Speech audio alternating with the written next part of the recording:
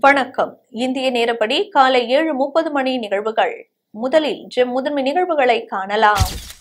தமிழக ஊர்திக்கு அனுமதி மறுப்பு விவகாரம். பிரதமர் மோடிக்கு முதலமைச்சர் மு ஸ்டாலின் கடிதம். பிப்ரவரி பதினான்காம் தேதி நடைபெற இருந்த பஞ்சாப் மாநில சட்டமன்ற தேர்தல் இருபதாம் தேதிக்கு ஒத்திவைப்பு. தேர்தல் ஆணையம் அறிவிப்பு.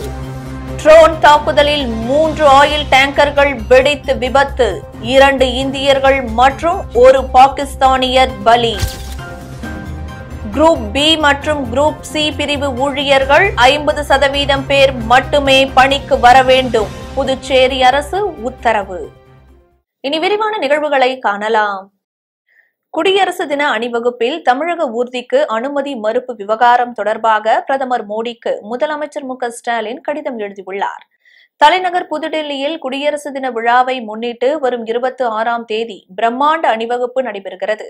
இதில் அனைத்து மாநிலங்களின் சார்பில் கலை பண்பாட்டு அலங்கார ஊர்திகள் இடம்பெறுவது வழக்கம்.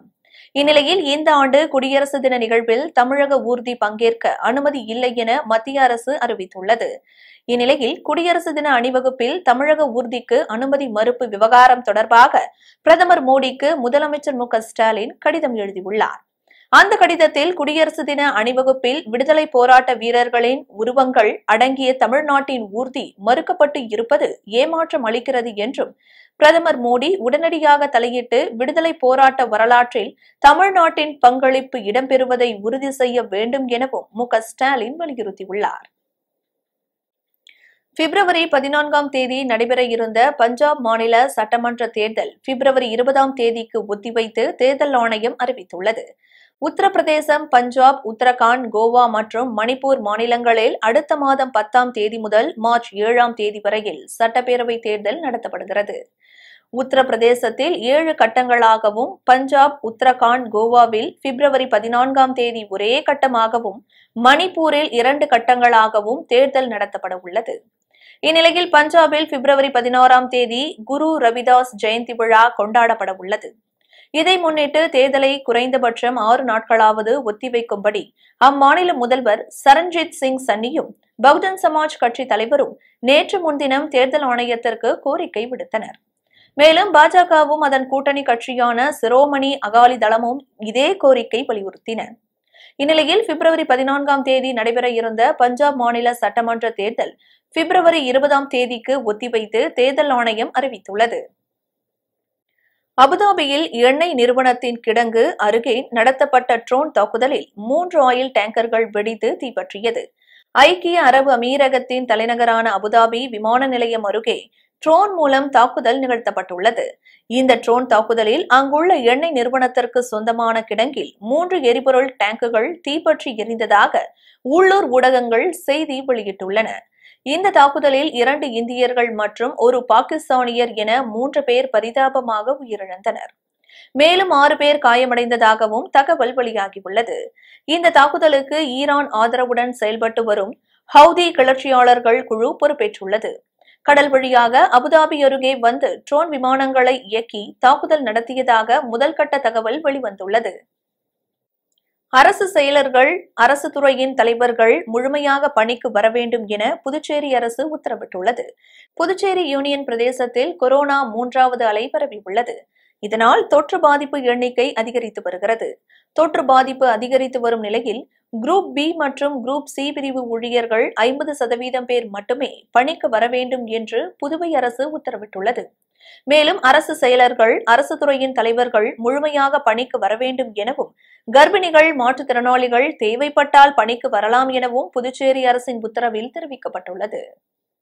தஞ்சை மாவட்டம் கும்பகோணம் அருகே திருவிடைமருதூரில் உள்ள சமேத மகாலிங்க சுவாமி திருக்கோயிலில் தைப்பூச திருவிழா தொடங்கியுள்ளது. தஞ்சை மாவட்டம் கும்பகோணத்தில் கொவரகுண பாண்டியன் இத்தலத்திற்கு வந்து வழிபாடு செய்து சென்ற பின்னர்தான் பிரம்மஹத்தி தோஷம் நீங்க பெற்றதாக கூறப்படுகிறது.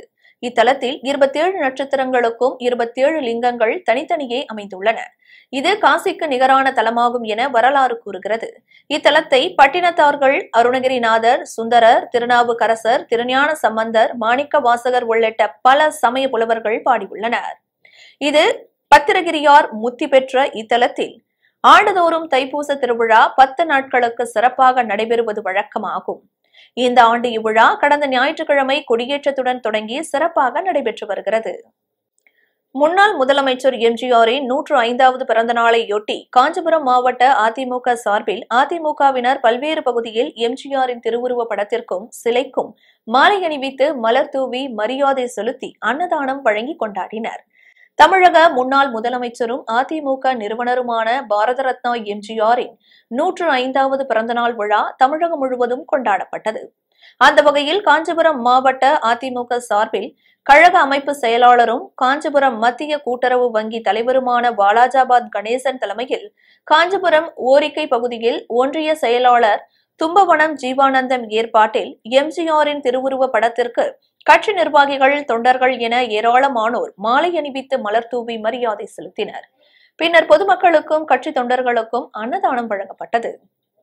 அதனைத் தொடர்ந்து மாவட்ட ஆட்சியர் அலுவலகம் மேட்டுத்தெரு பஸ் நிலையம் பூக்கடை சத்திரம் காந்தி சாலை தேரடி உள்ளிட்ட பல்வேறு இடங்களில் மலர்களால் அலங்கரித்து வைக்கப்பட்ட எம்ஜிஆரின் திருவுருவ படத்திற்கும் கருக்கப்பேட்டை வாலாஜாபாத் பகுதியில் உள்ள எம்ஜிஆரின் திருவுருவ சிலைக்கும் கட்சி நிர்வாகிகள் தொண்டர்கள் என ஏராளமானோர் மாலை அணிவித்து மலர் தூவி மரியாதை செலுத்தினர். பின்னர் விழாவில் கலந்து கொண்ட பொதுமக்களுக்கும் கட்சி தொண்டர்களுக்கும் அன்னதானங்கள் வழங்கப்பட்டன. சத்துணவு திட்டத்தை அறிமுகம் செய்த முன்னாள் முதலமைச்சர் எம்ஜிஆரை நினைவை போற்றும் வகையில் ஆயிரம் பேருக்கு அன்னதானம் அளித்தும் தென்னை மரக்கன்றுகளை சமூக ஆர்வலர்கள் முத்தையால்பேட்டை ஆர் வி ரஞ்சித்குமார் வழங்கினார். காஞ்சிபுரம் மாவட்டம் வாலாஜாபாத் ஒன்றியம் முத்தியால்பேட்டை பகுதியைச் சேர்ந்தவர் ஆர் வி ரஞ்சித்குமார். முன்னாள் முதலமைச்சர் எம்ஜிஆரின் தீவிர ரசிகரான இவர் எம்ஜிஆரின் சமுதாய பணியின் பாணியில் பல்வேறு நலத்திட்ட உதவிகளை ஏழை எளிய மக்களுக்கு செய்து வருகிறார். இந்நிலையில் சத்துணவு திட்டத்தை செயல்படுத்திய சரித்திர நாயகன் எம்ஜிஆரின் நினைவினை போற்றும் வகையில் அவரது நூற்று ஐந்தாவது பிறந்த நாளையொட்டி முத்தியால்பேட்டை ஊராட்சி மன்ற அலுவலகம் முன்புறம் அலங்கரித்து வைக்கப்பட்டிருந்த எம்ஜிஆரின் திருவுருவ படத்திற்கு மாலை அணிவித்து மரியாதை செலுத்தி ஆயிரம் பேருக்கு அன்னதானம் வழங்கினார். பின்னர் முத்தியால்பேட்டை களியனூர் கிராமங்களைச் சேர்ந்த கிராம மக்களுக்கு இரண்டு தென்னை மரக்கன்றுகளை வழங்கினார்.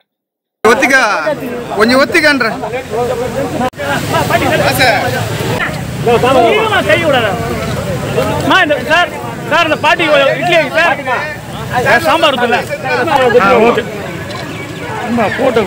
ஒரு படமா வரணும்ல ஓகே சார்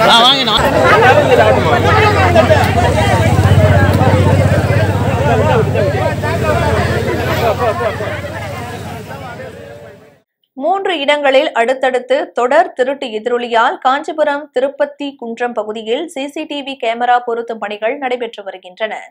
காஞ்சிபுரம் அருகே திருப்பத்தி குன்றம் பகுதியில் விநாயகர் கோவில் எல்லையம்மன் கோவில் உதவி ஆய்வாளர் வீடு என அடுத்தடுத்து மூன்று இடங்களில் திருடு போகியுள்ளது.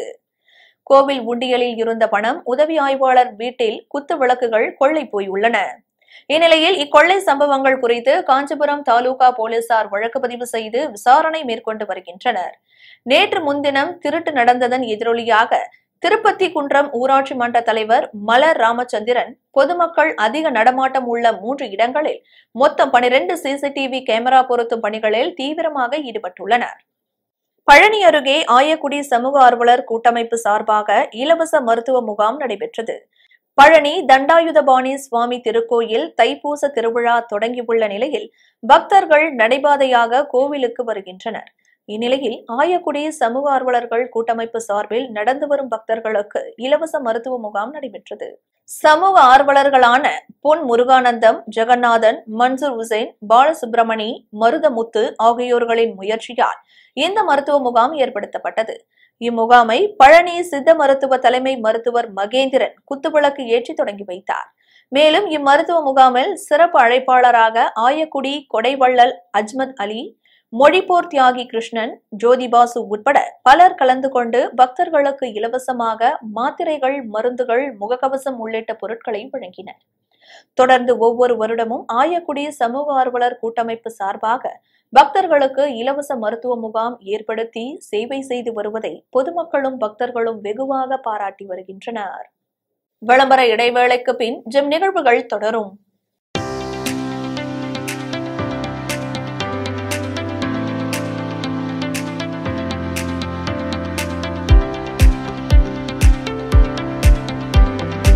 Akshaya catering service. உயர்தரமான முறையில் சமையல் செய்து மக்களின் நன்மதிப்பையும் பெயர் ஆதரவையும் பெற்று வரும் அக்ஷயா கேட்டரிங் சர்வீஸ். திருமணம் சீமந்தம் கிரகப்பிரவேசம் மஞ்சள் நீராட்டு விழா பிறந்தநாள் விழா காதணி விழா போன்ற உங்கள் இல்லத்தில் நடைபெறும் அனைத்து சுப நிகழ்ச்சிகளுக்கும் சுவையான முறையில் டிஃபன் மற்றும் சாப்பாடு வகைகள் நியாயமான விலையில் உங்கள் உறவினர்கள் மற்றும் நண்பர்கள் பாராட்டும் வகையில் தயார் செய்து உங்கள் இல்லத்திற்கு வந்து சர்வீஸ் செய்து தருகிறோம். உங்கள் ஆதரவை நாடும் அக்ஷயா கேட்டரிங் சர்வீஸ்.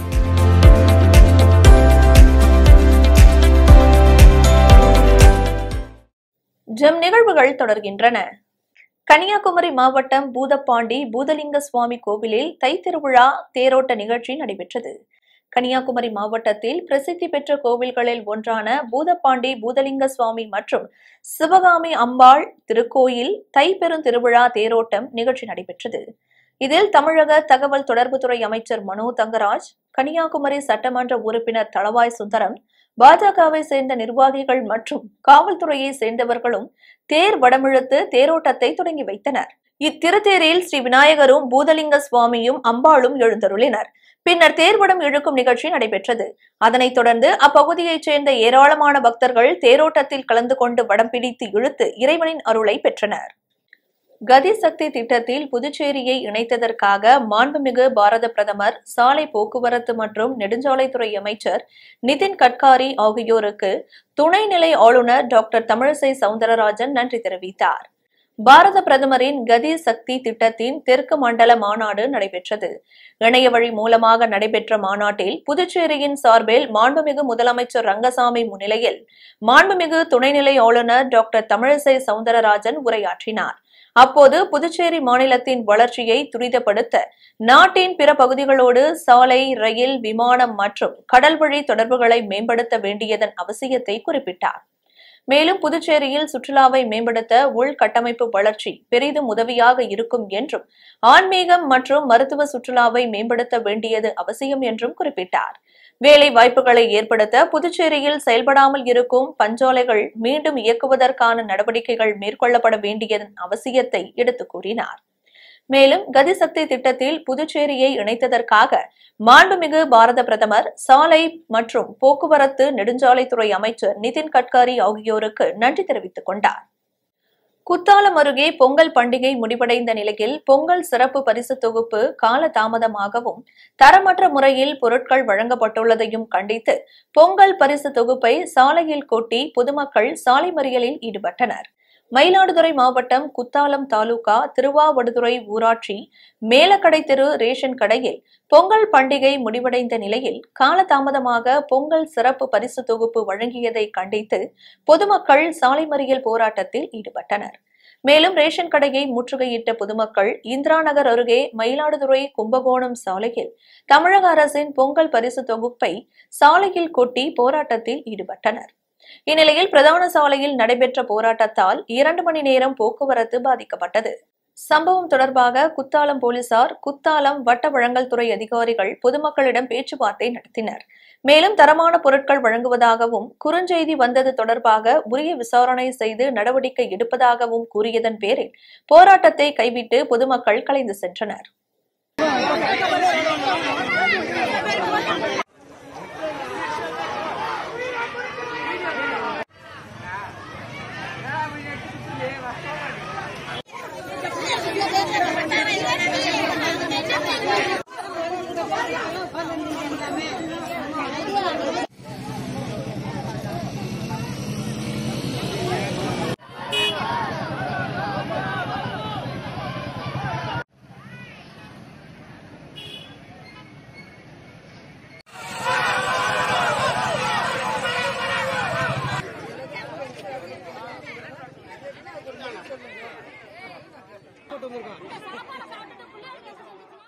குமரி மாவட்டம் ஆற்றூர் அருகே மன்னர் வணங்கிய குதிரைப்பந்தி தம்புரான் திருக்கோவிலில் இருபத்தி ஓரு ஆண்டுகளுக்கு பிறகு நடைபெற்ற மகா கும்பாபிஷேகத்தில் திரளான பக்தர்கள் பங்கேற்று சுவாமி தரிசனம் செய்தனர்.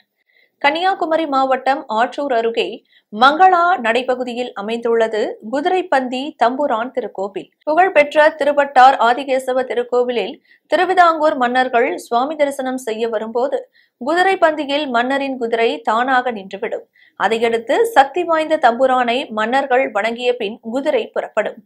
இந்நிலையில் இத்திருக்கோவிலில் புனர் பிரதிஷ்டையுடன் கூடிய மகா கும்பாபிஷேகம் நடைபெற்றது. இதையடுத்து இருபத்தி ஓர் ஆண்டுகளுக்கு பிறகு மகா கும்பாபிஷேகம் நடைபெற்றது. தற்போது வெள்ளிமலை ஆசிரமத்தின் கட்டுப்பாட்டில் உள்ள திருக்கோவிலில் பத்மநாபபுரம் ஆனந்த் தந்திரி தலைமையில் வெள்ளிமலை சுவாமி சை தன்யானந்தன்ஜி மகராஜ் கும்பாபிஷேகம் செய்து வைத்தார். இதேபோல் சுவாமி மதுரானந்தர் நூற்றாண்டு விழாவையொட்டி சமய வகுப்பு மாணவர்களுக்கான கலை பண்பாடு பயிற்சி மையத்தையும் வெள்ளிமலை சுவாமி சைதன்யானந்தஜி மகராஜ் துவக்கி வைத்தார்.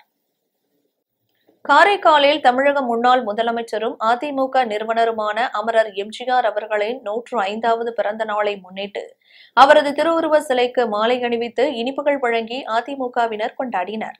காரைக்காலில் தமிழக முன்னாள் முதலமைச்சரும் அதிமுக நிறுவனருமான அமரர் எம்ஜிஆர் அவர்களின் நூற்று ஐந்தாவது பிறந்த நாளை முன்னிட்டு கிளிஞ்சல்மேடு மீனவ கிராமத்தில் அமைந்துள்ள எம்ஜிஆரின் வெண்கல திருவுருவ சிலைக்கு மாவட்ட செயலாளர் ஓமலிங்கம் தலைமையில் மாலை அணிவித்து மரியாதை செலுத்தப்பட்டது. இந்நிகழ்வில் முன்னாள் சட்டமன்ற உறுப்பினர் அசனா மாவட்ட இணை செயலாளர் ஜீவானந்தம் பொருளாளர் காதர் மாவட்ட எம்ஜிஆர் மன்ற செயலாளர் ரவி உள்ளிட்ட ஏராளமான அதிமுக நிர்வாகிகள் மற்றும் தொண்டர்கள் கலந்து கொண்டனர். முன்னதாக பட்டாசு வெடித்து அனைவருக்கும் இனிப்புகள் வழங்கப்பட்டன. கன்னியாகுமரி மாவட்டம் தக்கலையில் எம்ஜிஆர் நூற்று ஐந்தாவது பிறந்தநாள் அதிமுக கட்சி நிர்வாகிகள் மாலை அணிவித்தும் மலர் தூவியும் மரியாதை செலுத்தினர். தமிழகம் முழுவதும் எம்ஜிஆரின் நூற்று ஐந்தாவது பிறந்தநாள் விழா வெகு விமர்சையாக கொண்டாடப்பட்டு வருகிறது. இந்நிலையில் அதிமுக தலைமை கழகத்தின் அறிவுறுத்தலின்படி கன்னியாகுமரி மாவட்டத்தில் எம்ஜிஆர் பிறந்த நாள் சிறப்பாக கொண்டாடப்பட்டது. அதன் ஒரு பகுதியாக கன்னியாகுமரி மாவட்டம் தக்கலை பகுதியில் அமைந்துள்ள எம்ஜிஆர் சிலைக்கு குமரி மேற்கு மாவட்ட கழக செயலாளர் ஜான் தங்கம் தலைமையில் கட்சி நிர்வாகிகள் மாலை அணிவித்து மரியாதை செலுத்தினர். தொடர்ந்து பொதுமக்களுக்கும் கட்சி நிர்வாகிகளுக்கும் மாவட்ட செயலாளர் ஜான் தங்கம் இனிப்புகளை வழங்கினார். இந்நிகழ்ச்சியில் மாவட்ட நிர்வாகிகள் சிவ குற்றாலம் மேரி கமலாபாய் ஒன்றிய செயலாளர்கள் மணி உட்பட கட்சி நிர்வாகிகள் ஏராளமானோர் பங்கேற்றனர். கடலூர் மாவட்டம் வடலூரில் வள்ளலார் நிறுவிய சத்யஞான சபையில் தைப்பூச ஜோதி தரிசன பெருவிழா கொடியேற்றத்துடன் தொடங்கியது. வாடிய பயிரை கண்டபோதெல்லாம் வாடி நின்றேன் என்று பாடி ஜீவ காருண்யத்தை உலகுக்கு எடுத்துரைத்த வள்ளலார். இவர் கடலூர் மாவட்டம் வடலூரில் சத்யஞான சபையை நிறுவினார். இந்நிலையில் நூற்று ஐம்பத்து ஓராவது தைப்பூச ஜோதி தரிசன பெருவிழா கொடியேற்றத்துடன் தொடங்கியது. முன்னதாக அகவல் பாராயணம் பாடப்பட்டது. பின்னர் தர்மசாலையில் சன்மார்க்க கொடி ஏற்றப்பட்டது.